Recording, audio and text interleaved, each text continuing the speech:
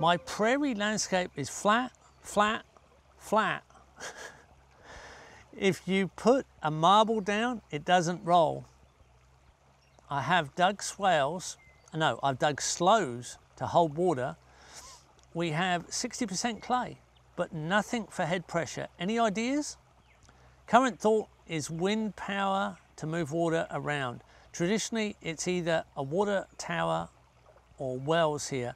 I must confess, I have a mental challenge wrapping my head, uh, my brain around dams and actual flowing water. Well, Lynn, I suggest you take a laser level, no, not a laser level, you take a farmer's level, a little eye level, and look at the horizon.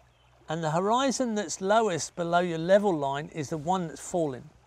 So if you look at the horizon on your flat, flat, flat landscape, the one that's the lowest below your level line on your sight level and the one that's the highest, that's uphill, that's downhill. It's gonna flow that way.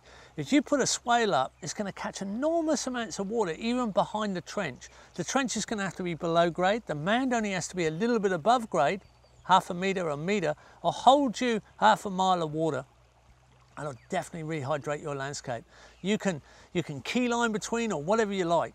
Dams are the same. When you build a dam, you're going to have huge amounts of material left over. You'll be able to build islands, peninsulas, chinampas, and really exciting windbreak mounds of all kinds of gorgeous patterns.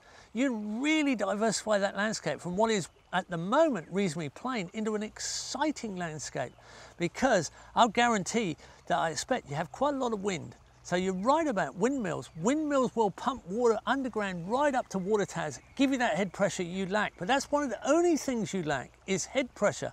Now, if you get a bit of sun, you can also pump water with solar up to those water towers. So if it's not windy, it's sunny. If it's not sunny, it's windy. You can pump with wind at night, sun in the day. If it's sunny, you can get that up in the air. You can dig your swales and pull back hold back lots of water, soak all that in, condition the land easily with, with your keyline systems. You can put in dams that have the most gorgeous shapes because there's nothing restricting you putting shoreline shapes in islands, peninsulas, chinampas, all kinds of things.